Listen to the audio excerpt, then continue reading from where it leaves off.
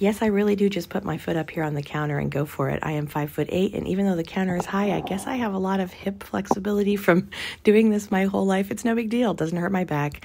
I'm not joking when I say that. It doesn't hurt my back. It doesn't hurt my hips. Sometimes I'll take a break. I mean, like my foot can get tired being up there and it can feel a bit achy for like a minute. So I put my foot down, take a breath, you know, maybe get something to drink, and then come back and do it again. I don't mean alcohol, I mean like grab a beverage so that I'm hydrated.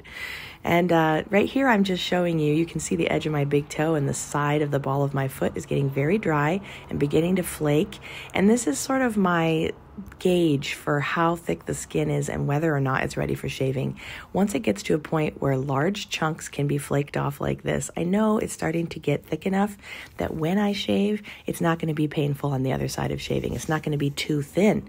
And I think there's a misconception that when I say, like, you know, I have a problem with frays and everybody comes in and says, oh, why don't you wear gloves all the time? Or I say that, you know, I, I want to be careful that I don't go too thin. People say, why don't you use a different method so you don't go too thin? No, I, I have these routines and these methods and these schedules down to a science so that I am comfortable at every stage. I will wait until this skin is thick enough that when I shave it off, it won't be too thin. It'll still be a comfortable thickness so I can function and use my feet. So I've got it over here and I'm just showing you what I do so you can understand. Anyway, now we're getting into the toe clipping, so the video is going to end soon because I already made a video about this part. But I want to thank you guys so much for your incredible feedback on my video yesterday because that really gave me a great idea about how to handle my YouTube channel moving forward.